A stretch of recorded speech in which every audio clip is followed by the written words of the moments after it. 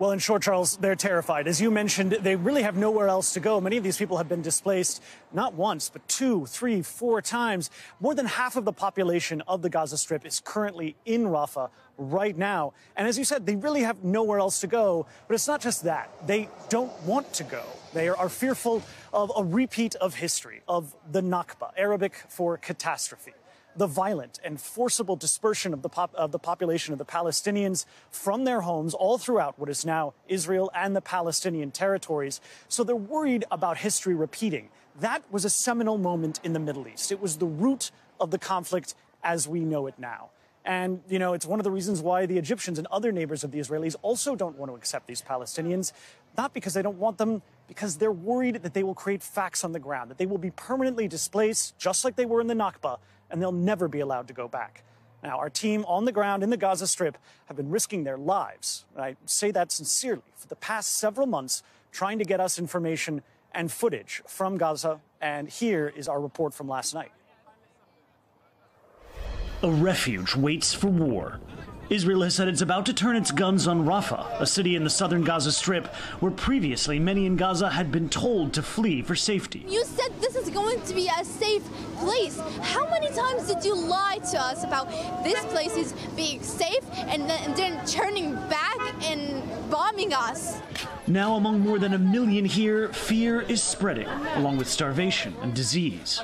We've been hearing that they want to come to Rafah just like every city in Gaza.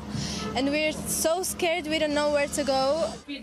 Israeli Prime Minister Benjamin Netanyahu ordered his military to prepare a plan to evacuate civilians here and destroy what's left of Hamas, calling Rafah a last bastion for the terrorist group. Rafah is uh, just two streets.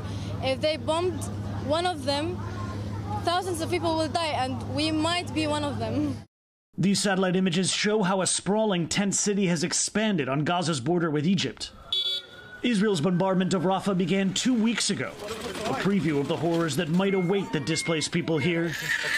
Dozens have already been killed, the UN sounding the alarm. We are extremely worried about the fate of civilians in Rafah. It is nearly impossible to, for us to protect them uh, from tank fire, from artillery shells. This week, President Biden voiced rare disagreement over Israel's attacks on Gaza. The conduct of the response in the Gaza Strip has been over the top.